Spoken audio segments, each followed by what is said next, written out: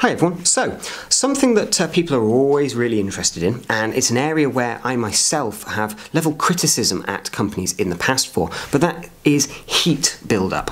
Now, you might remember when the Galaxy S4 was released, I was very negative on what Samsung delivered there. From a heat point of view, the thermal properties of, well, their design and the CPU GPU combination they'd used at the clock speeds they'd gone for meant that you had a device that was useless for gaming, in my opinion, for any longer than maybe 10 to 15 minutes at a time. The device became far too hot to operate normally. Um, if you put a case on it, quite a bit better, but of course then you're building some in more internal heat which could reduce the life expectancy of device overall.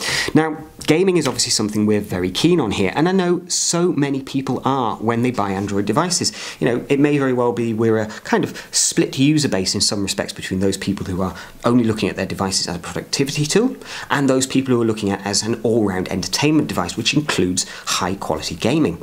Now, when we've been putting this device through its paces, and we've put a lot of games through this device so far in the last three or four days, we've found a common thing. This device doesn't get overly hot. In fact, I would say this has some of the best thermal properties I've actually seen from a smartphone in the last year. It's very much comparable to the HTC One before it, although actually I found the heat dissipation seems to be better across the back of the case. The hot spot, as it were, is much wider and cooler than you would get from the original HTC One, and considerably, and I really do mean considerably better than the Galaxy S4. The Galaxy S4's primary problem was the GPU CPU package and the Wi Fi radio. They appeared to be practically either next to each other or combined within the same chip. Now, the problem there was if you were running the Wi Fi and running 3D games simultaneously and it was really cranking through, then you would get a massive amount of heat buildup very, very quickly, uh, to the point where, frankly, it was uncomfortable.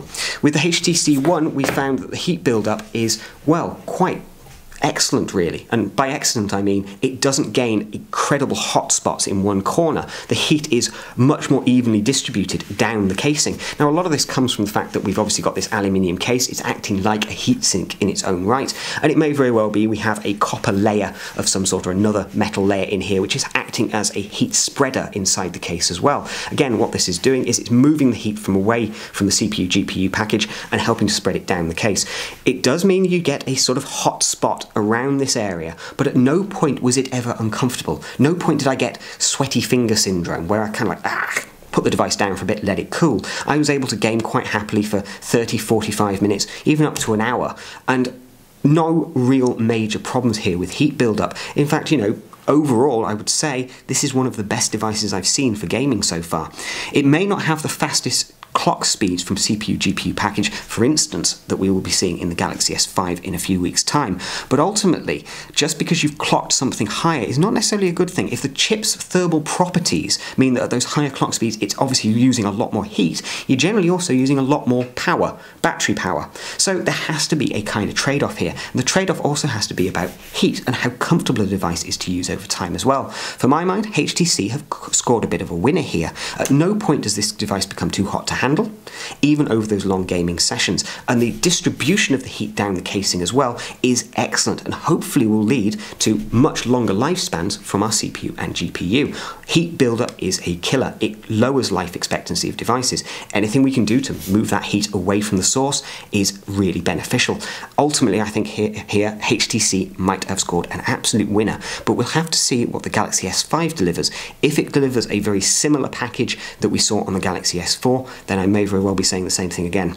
Not great for gaming. Gets a bit too warm in those hotspots. HTC, you've scored a bit of a winner here as far as I'm concerned. We hope you enjoyed this video. Do please remember to like and comment. And if you'd like to, please subscribe.